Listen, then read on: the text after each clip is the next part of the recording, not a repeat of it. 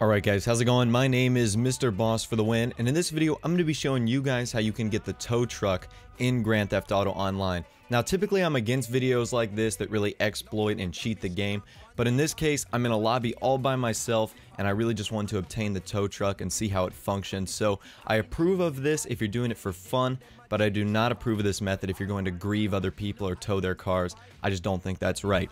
But anyways, let's get started. So what you need to do is have someone on your friends list or have someone that you know that already owns a tow truck and then you're going to want to proceed to do uh, one of the missions. We had a lot of success with the uh, the Martin missions or Martin uh, Martin Madrazo so we had success with his missions. Any of them will work. Out of court settlement uh, mixed up with coke. Uh, either of these work. So what you're going to want to do is you get in the tow truck that your buddy has called for you. He can either dial his mechanic and bring it to you and then you want to hop in his car.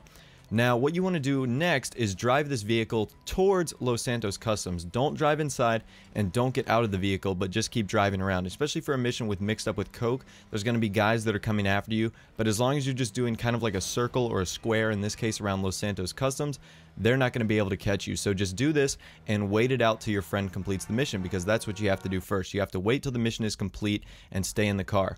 Once the mission is complete, you're going to spawn inside of the duplicated tow truck and it's no longer going to have your friend's personal tags, tracker, and insurance on it, meaning it's going to be like you just found it on the street.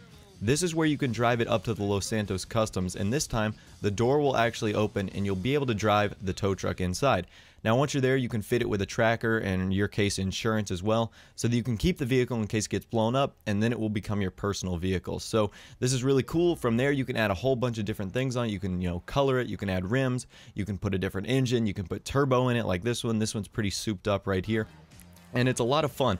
The tow truck is one of my favorite vehicles uh, of all time just because it, its functionality is actually very lifelike. You can tow cars in the game. This is just a random NPC car. I'm not towing anyone's vehicle in here. I'm in a private session with one other person. So, I like I said, I approve of this method if you really want to just have some fun.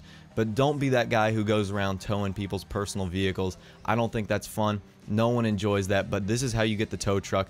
Fairly easy. Like I said, all you have to do is know someone who has the tow truck and is willing to help you do this. It takes about five minutes. Complete the mission, stay in the car, go to Los Santos Customs, get it fit with a tracker and insurance, and a tow truck will be yours. So it's fairly straightforward, and it was really easy for me.